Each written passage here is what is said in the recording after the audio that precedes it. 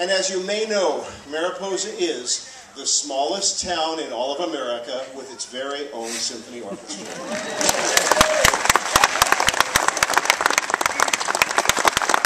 John Philip Sousa, Stars and Stripes Forever.